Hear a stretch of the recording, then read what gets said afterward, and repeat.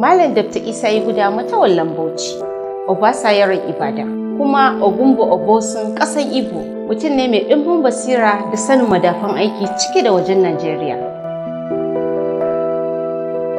Kasancewa na kan gaba wajen tsara ingantacciyar tsarin jagoranci maji gaba cikin jam'iyyar APC wanda zai kasance jigo wajen gudanarwa kan tafarkin gamayya rabe-raben madafan iko bisa tsarin adalci mutunta juna ciyar da juna gaba da bunƙasa tattalin arzikin ƙasa baki ɗaya.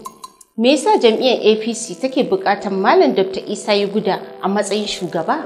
Kasancewa zakara wajen yaɗa kyawawan ɗabi'un haɗin kai tsakanin al'umma haɗin gwiwa bisa yarjejeniyar gina sabuwar jam'iyyar apc a tsakanin shugabanninta tabbatar ko aiwatar da manufofin jam'iyya ta hanyar da za a mata kyakkyawar fata samar da ayyukan yi wajen inganta tattalin arziki sannan samar da ingantacciyar makoma wajen kasafta arziki da bunƙasa ta a ƙasar mu ta najeriya. Wani matashi mai fafutukan 'yancin matasan jam'iyyar apc alhaji sadat sale ya yi kira ga dattawa da kuma illahirin gwamnonin jam'iyyar apc da cewar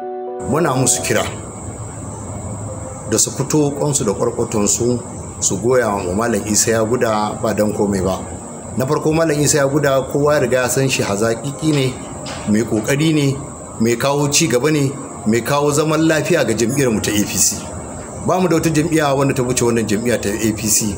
muna kira wa gwamnoni na jam'iyyar apc